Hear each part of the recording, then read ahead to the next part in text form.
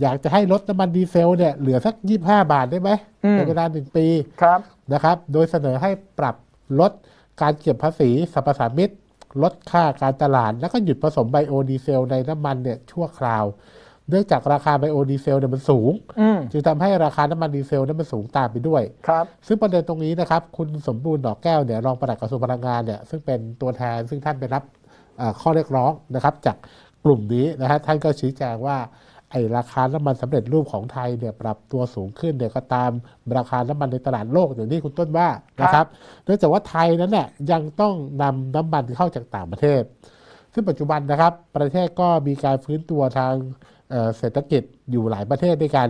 มีความต้องการในการใช้พลังงานในภาคการผลิตแต่ยสูงครับจึงทำให้ตรงเนี้ยนะครับ มีความต้องการน้ำมันเพิ่มสูงขึ้นอย่างรวดเร็ว โดยโควิดกันมาหลายประเทศทุกอืมทั่วโลกอะโดนมาหมดครัแต่บเมื่อ เริ่มมีกำลังการผลิตใหม่ เครื่องจงเครื่องจักรก็ใช้ดีเซลครับเมื่อกำลังการผลิตเอ่อมันมีเยอะขึ้นเนี่ยความต้องการน้ำมันมันก็เยอะขึ้นตามมา มันก็เลยทำให้เหมือนกับเอ่อทำให้ราคาน้ำมันเนี่ยมันสูงขึ้นครับอืมทางด้านะฮะของคุณสุพัฒนพงษ์พันธ์มีชาวรัฐมนตรีว่าการกระทรวงพลังงานก็กล่าวครับว่า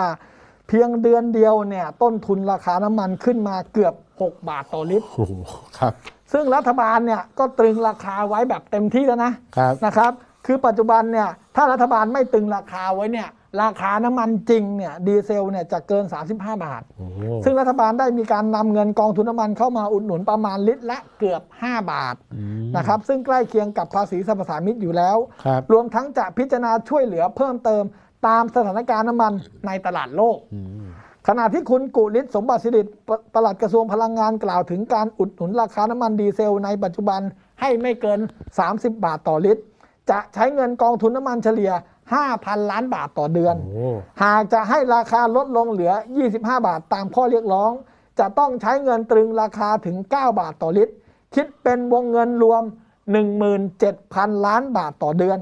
ซึ่งไม่สามารถหาแหล่งเงินมาได้ เนื่องจากปัจจุบันเนี่ยกองทุนติดลบไปแล้วกว่า 14,000 ล้านบาทโอ้โหครับและอยู่ระหว่างกู้เงินอีก 30,000 ล้านบาท เพื่อมาพยุงราคาดีเซลที่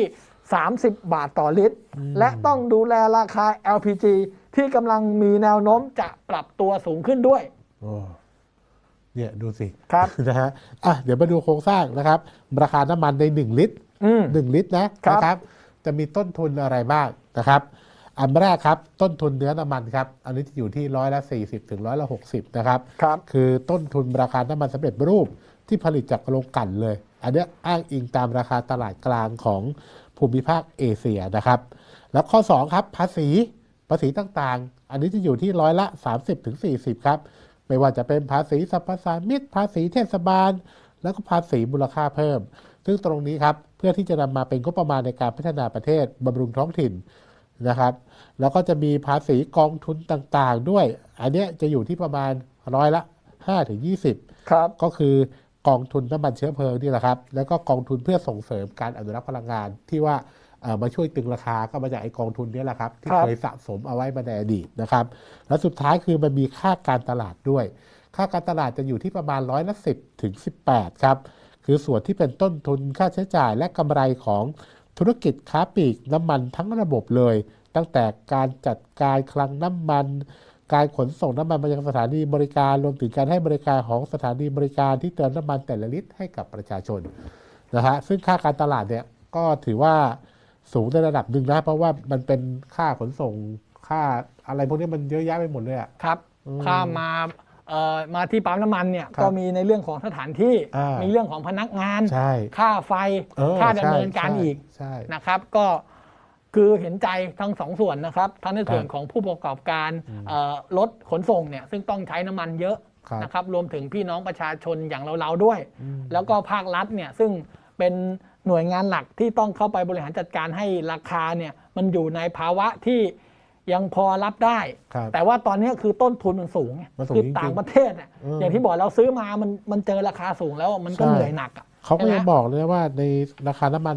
ดิบในตลาดโลกเนี่ยน่าจะปรับตัวสูงขึ้นที่สุดนะในครับในรอบ7ปีเขาบอกครับเจ็ดปี